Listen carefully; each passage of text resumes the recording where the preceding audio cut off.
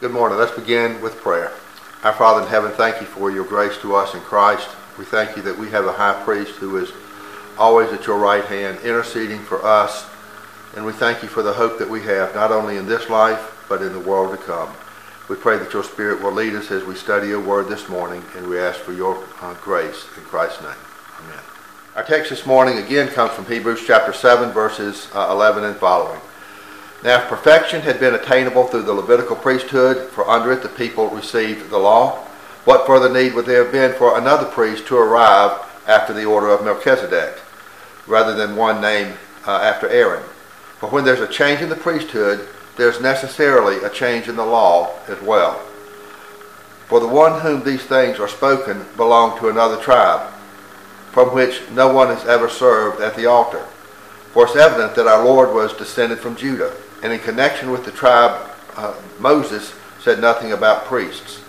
This becomes even more evident when another priest arises in the likeness of Melchizedek, who has become a priest not according to a legal requirement concerning bodily descent, but by the power of an indestructible life. For it's witnessed of him, Thou art a priest forever after the order of Melchizedek. On the one hand, a former commandment is set aside because of his weakness and uselessness. For the law made nothing perfect. On the other hand, a better hope is introduced through which we draw near to God. Thus is the reading of God's holy and inerrant word. We're continuing our study uh, in Hebrews this morning about the priesthood of Christ and the law that accompanies his priesthood. As a reminder, uh, we're looking at the thing that got Stephen stoned and got Paul in, uh, arrested uh, when he was in Jerusalem. Both of these men were accused of speaking against the temple and against the law. The book of Acts doesn't really tell us what they said against the temple and against the law, but our book does. The book of Hebrews does. Uh, we find uh, in Hebrews that with the life, death, uh, resurrection, and ascension of Jesus, that God appoints a new kind of priest to replace that priesthood that was found in the Old Testament, the priesthood of Aaron. And Jesus isn't just a better type of priest in Aaron's lineage. Hebrews tells us uh, he is a different kind of priest. He's better in this way. He's, he's a different kind. He's after the order of Melchizedek. Uh, he, uh, the priesthood of Christ is also eternal. Uh, he, he, the, the Aaronic priests in the Old Testament, they, they died and had to be replaced. With Christ, this, uh, he is an eternal high priest he also has a continual presence before God's throne of grace. In the Old Testament, the priest could only come at certain times, but with Christ as our high priest, he is always present uh, at, God's throne. Christ also as our high priest is dedicated to mediating for us and solely for us. Uh, in the Old Testament, he, the, the priests had to deal with their sins before they could ever deal with the people's sins. Christ has dealt um, uh, with he deals only with our sins. He has no sins of his own to deal with. It's a, it's a dedicated priesthood, that, that uh, a dedicated priest. Um, Christ also uh, made uh, his sacrifice once and for all, uh, and he got the job done. He's able to present us to the Father in such a way that our sins are completely and justly washed away, so that the Father can uh, no longer remembers our sins. They, they are they're completely done away with. And uh, with such a, a, disposal of our sins, our conscience is clear. Uh, and we are no longer guilty, and we can draw near to God's throne of grace with a boldness and a confidence that the people in the Old Testament, Old Testament time didn't have. All, all of that is on account of Christ as our high priest. Uh, but it's not just that in Christ that we have a new priest. Our text tells us, and we saw this last week, that with this new priesthood, there also comes a new law. Each priesthood had a set of laws that governed the priest and governed the people. Um, and when there's a change in the priesthood, there's also a change in the law as well. That's what Hebrews 7:12 says. And so when the Old Testament priesthood was made obsolete, so, was its law, the Mosaic law. When the new priesthood of Jesus Christ is inaugurated, with it comes a new law. Paul calls this new law the law of Christ. Now, I think that we all understand that there's certain aspects of the Old Testament law, the ceremonial law, that is, that are, that's clearly gone. the animal sacrifices, the Day of Atonement, the priestly descent, and uh, uh, the, the rise and fall of, of, of, priests and all that sort of stuff. It, it's uh, through their death. That's that's all gone. But what do we do with the moral law that's found in, in uh, the book of Moses? Um, the, the, law that the Ten Commandments. Uh, you should have no other gods. Don't uh, no idols. Don't take God's name in vain. The Sabbath, honoring your parents, kill, steal, commit adultery, bear false witness, covet. What do we do with what happens to uh, those laws. What happens to Leviticus 19 where it says, love your neighbor, or Deuteronomy 6, love God with all your heart, soul, and strength? Uh, what happens to that old covenant that God made with Moses and the people there at uh, the Mount uh, at, at, Mount Sinai, the, the moral law and the ceremonial law? What happens to that? Well, here's what our text says. It says, where there's a change in the priesthood, there's also a change in the law. The Mosaic law in, in all of its aspects, ceremonial and moral, had to be changed. A new kind of law, like a new kind of priesthood, is necessary. Perfection under the old priesthood and perfection under the old law was not attainable. Um, a, new, a new covenant uh, had to be made with a new priest and, and new law. On the night in which Jesus was betrayed, he took bread and broke it, and he said, This cup is the new covenant in my blood. The old covenant uh, had to be abolished. That's a word that's used in Hebrews. Abrogated, set aside, because it, as we saw at the end of our text, that that old covenant with its laws were weak and useless. A new priesthood and a new law, one in which there is a better hope introduced, um, and, and one that will allow us to draw near to God, needed to be put into force. And that's what Christ did on the night of his uh, betrayal uh, as he broke bread. And that's what we have when we come to the book of Hebrews. He's talking about this new covenant, this, this, this new priesthood, and this new law uh, that we have. So the question this morning is this What is this new law? What is the law of Christ? Well, let's begin with this location. Where do we find this new law? Well, the old law, the Mosaic law, was written on tablets of stone. It was found on scrolls. It was found uh, on people's doorposts as they walked out the door. That's what that law said. They, they wrote it on their hands and they, they uh, wore it between their eyes. And, and, that, and literally, that's what they did. Uh, when the people returned back from captivity in Babylon, they put little boxes that had the law in it between their eyes and they, and they wrote, it on their, wrote it on their arms. Um, it was, uh, it was uh, external uh, to them. The, Mo- the Mosaic Law was a code that you could look out at and see. Uh, it was it was external.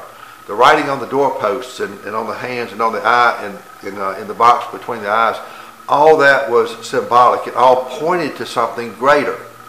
But in the Old Testament times, it pointed to something that was not yet there. But in this new law that we have, this law of Christ, which the Old Testament law pointed to, in this new law that we have with Christ, that which the Old Testament pointed to has now arrived. This new law, the law of Christ, we, we can see it in Hebrews 8 as the author quotes Jeremiah 31. He talks about how this law will no longer be external to us. Instead, God says he will write, in Hebrews 8.10, I will write my laws on their minds and in their hearts. That's, that's what God's going to do. He's going to place it internally within us. One of the things that happens when we come to faith in Christ is that we learn that God has called us to himself. His Holy Spirit has come into our life and caused us to be born anew or born again, 1 Peter chapter 3. And then uh, the, the Holy Spirit dwells within us. We're, we're made, we're a, we are a new creation. That's what 2 Corinthians 5 says. And uh, one aspect of this newness is that God's Holy Spirit dwells in us and God's Holy Spirit leads us. He convicts us of our sin, and then he leads us in our life. We don't have to look to an external code to tell us what's right and wrong or what's holy and what's unholy. God's Holy Spirit speaks to us, and we know from within our heart and minds what's right and what's wrong.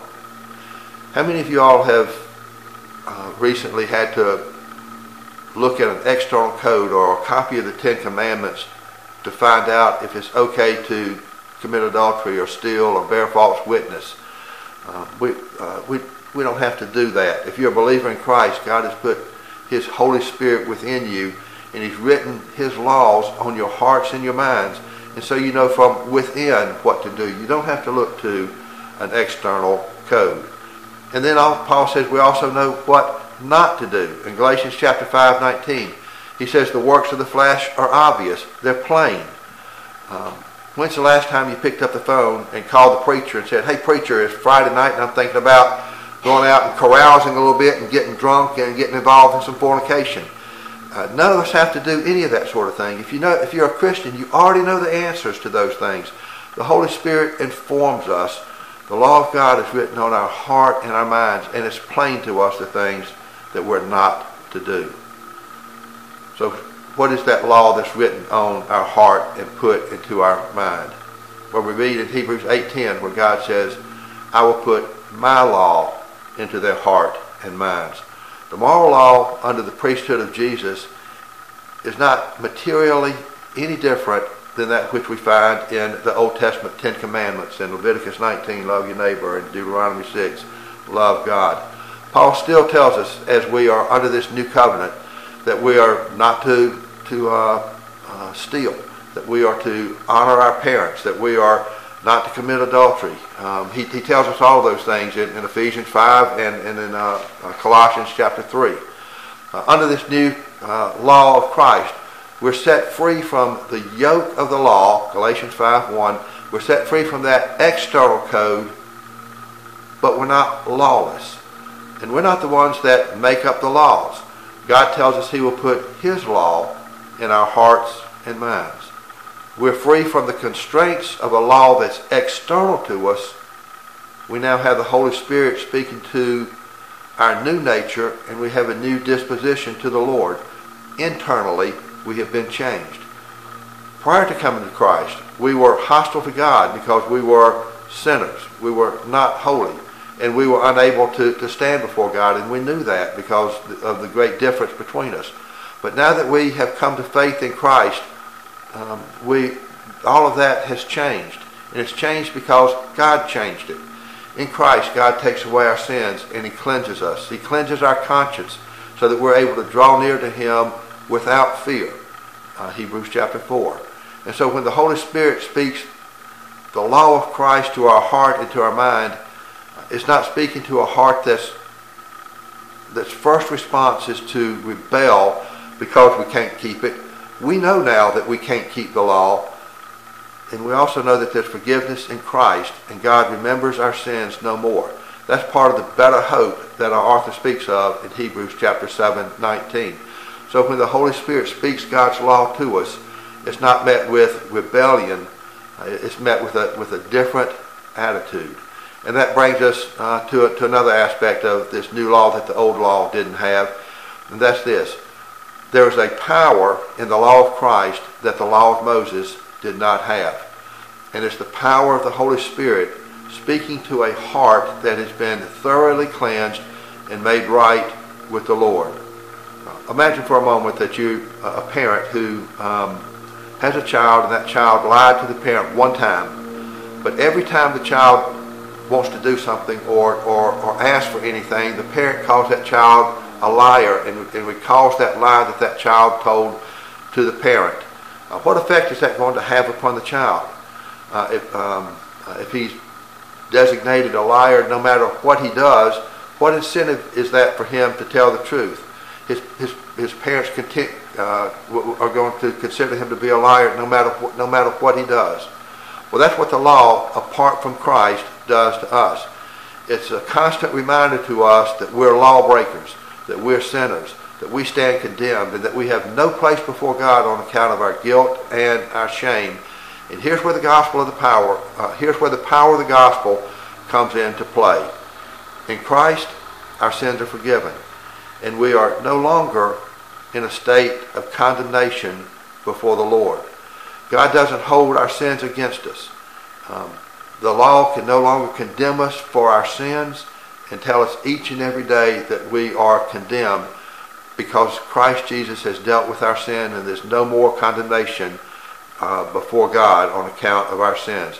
Our conscience is clear of all that guilt. We're forgiven and acceptable in God's sight and we can draw near to Him.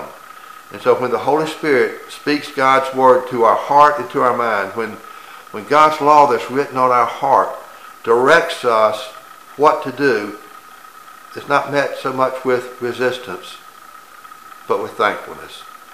And with this thankfulness and with this gratitude comes a new power, and that's a power to obey God uh, and obey God's uh, direction to us.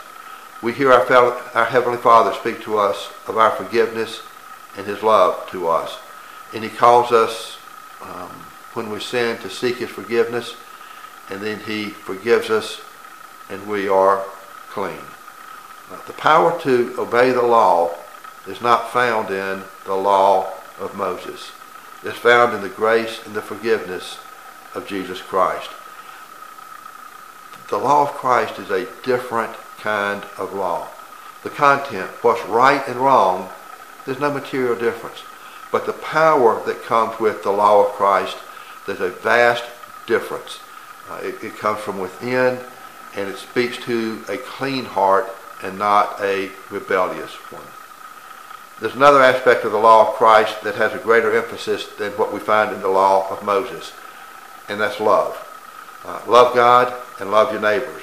Uh, we find that in the Old Testament. I, uh, mentioned it just a few moments ago, Leviticus 19 and Deuteronomy 6. We find that there in, in Moses' law.